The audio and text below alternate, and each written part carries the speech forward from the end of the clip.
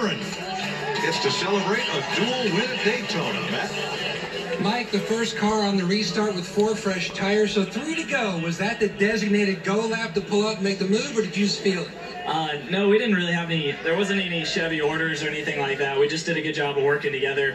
Um, Kurt was a great pusher and great helper, and I really had a lot of trust in him.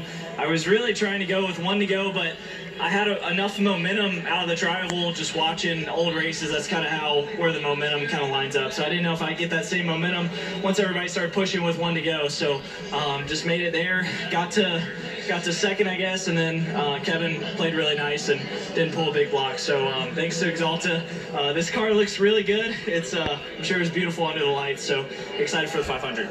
Lessons learned watching old races, Vince, certainly pays off with a W tonight. I think that's the first time I've ever heard anybody say Kevin Harvick played nice. Was that was that really what was happening? I, I you know, when they're coming that fast, it's just it's it's um, putting a lot of risk up to block, and we've seen how that worked out. Just got to thank uh, Busch Light and, and, our Pit for Busch uh, uh, Ford Mustang. Uh, we had a,